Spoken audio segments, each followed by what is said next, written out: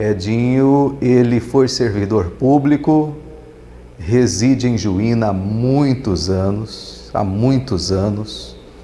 Uma pessoa muito querida por todos nós, nosso grande amigo Edinho. Uma notícia muito triste, muito triste.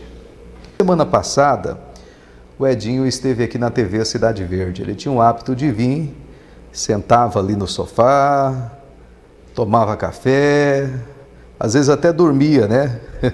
Na recepção, o amigo Edinho. Semana passada mesmo ele esteve aqui. Aliás, o Tonhão do Rancho Três Irmãos, ele tinha uma, uma ferida muito séria na perna e o Tonhão ajudou muito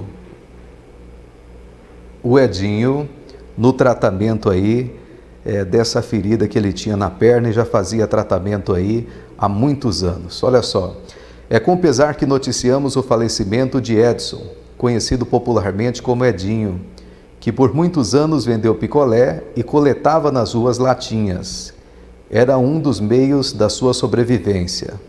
Segundo o conhecido Edinho, neste domingo ele passou mal na rua e foi socorrido, mas infelizmente faleceu na unidade de pronto atendimento 24 horas em Juína, possivelmente vítima de infarto. A escola Antônio Moura Muniz, no bairro Módulo 6, emitiu uma nota de pesar da morte de Edinho. Ele era aluno do EJA, daquela unidade escolar. O Juína News lamenta profundamente o seu falecimento, assim como a TV Cidade Verde. Muito querido, né? Muito querido, trabalhador. Infelizmente, segundo informações, possivelmente foi vítima de infarto. Nós fizemos uma gravação com o Edinho é, há muitos anos atrás. Muitos anos atrás, ele, ele vinha aqui na TV Cidade Verde e pedia que ele gostaria de receber a patrulha do almoço na sua casa. Nós tínhamos aqui um quadro Patrulha do Almoço, onde o Carreirinha invadia as casas. E aí nós invadimos na época a casa do Edinho. Vamos rever no túnel do tempo da TV Cidade Verde, como foi a nossa visita lá na casa dele. Acompanhe aí na tela. Alô, nós voltamos aqui no Moto 6, a patrulha. Estamos aqui nessa casa aqui. Aqui, vamos entrar aqui. Se tiver ligado na banca. Estamos entrando aqui na casa do Dilcinho hoje. Olha, tá ligado na banda. O que, que tem de almoço hoje aí? É, tem só arroz e feijão. Só arroz e feijão? É, não, não piscaram porque não deu tempo, né? Tem que capir o lote ali, né? E o ovo, não vai fritar ovo? Vamos ver onde fica o ovo, não vai fritar ovo. Não tem ovo, não. Não tem ovo, não? Tem, não. Brincadeira, hein? Não tem nenhum ovo pra fritar. Vamos ver que tem. Vamos aqui, vamos ver que tem que nós fazer aqui. Olha! Tem água aqui, tem tudo na casa do Diocinho aqui, ó. Em nome é de Jader Gás, Júnior e Foco. Nós estamos aqui, vamos, cadê o prato aqui? Vamos ter um prato aí pra nós comer. Prato ali, ó. Vamos caçar um prato aqui, ó. É aqui mesmo? Oh, oh vamos comer aqui na casa do. É casa do Diocinho, né? Aham. Vamos, vamos comer, vamos comer, gente.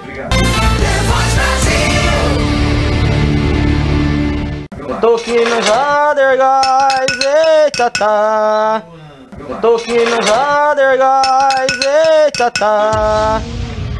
Eita tá, eita tá. É isso aí. É isso aí. Tá cozido? Tá cozido. Olha. Acho que não tá cozido não, hein? Só não tá temperado aí, falou. Vamos comer, vamos comer, gente. Quem fez almoço? Hã? Porque eu... Você que fez? Tá sem sal. Fica sem sal. Tá sem sal arroz? Vamos comer aqui, vamos ver. Vamos caçar aqui onde tá aqui, vamos caçar aqui. Eita! Tira aqui, onde tá? Onde tem? Cadê? Cadê? Cadê a colher? Olha, tem colher aqui também na casa do Dilcinho. Só um bonézinho aqui da Band aqui, ó. Colocar na cabecinha dele aí. Vamos colocar outra aqui também. Vamos lá, gente. Vamos, vamos lá, vamos lá. Por que você não arruma, você não arruma uma namorada? Porque eu não quis ainda, né? Onde é a sua cama? Minha cama é ali. Agora eu vou dar licença que eu vou dormir um sono na cama do, do José. Vai lá. Agora eu vou dormir de boa. Até mais, já já eu volto aí, ó. Depois da uma você me acorda, Lais.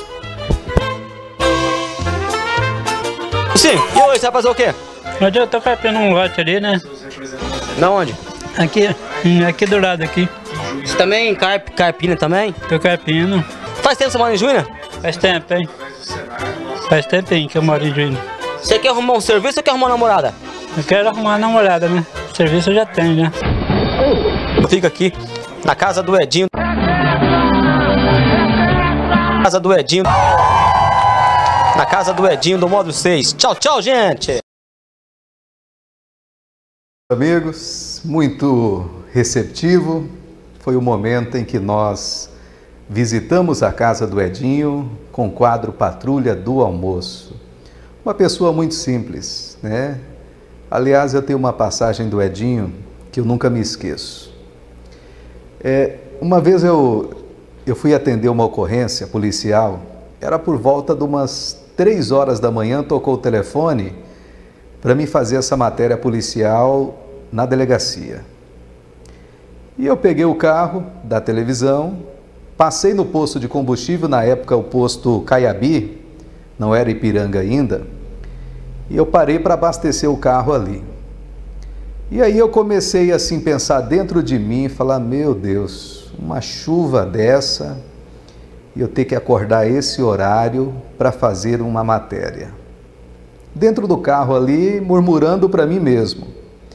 Quando eu olhei do lado, o Edinho todo feliz, empurrando o carrinho dele, cheio de latinhas, todo molhado, todo molhado, e gritando: Cadê o Adovaldo? Cadê o Adovaldo? No momento assim eu olhei para no retrovisor assim, eu vi ele correndo, gritando. Saí de dentro do carro da televisão, comecei a conversar com ele e pedi perdão para Deus. Estava dentro do carro, ia fazer algo que eu amo fazer, e ele, todo molhado, com o carrinho cheio de latinhas, feliz, correndo, gritando, pedi perdão para Deus e disse: a partir de hoje, não reclamo mais de trabalho, não reclamo mais. Então, aí, o nosso amigo, a nossa homenagem a ele. Interessante, é, na semana passada mesmo ele teve aqui e enquanto eu não falava o nome dele ali, ele não saía da, do vidro ali da, da recepção. Né? Eu tinha que falar e agradecer ele pela presença. Edinho, é, tenho certeza que você está ao lado de Deus e que Deus conforte aí o coração dos amigos e dos familiares. Vai deixar saudade, é um pioneiro da cidade, uma pessoa muito querida é, tem uma deficiência, mas essa deficiência não fez com que ele deixasse de trabalhar. Né? Enquanto muitos têm duas pernas, dois braços, são perfeitos e não gostam de trabalhar. Né? O Edinho trabalhou até o último dia de vida dele. Estava catando latinhas quando passou mal, foi levado à unidade de pronto atendimento, infelizmente partiu dessa vida para uma outra.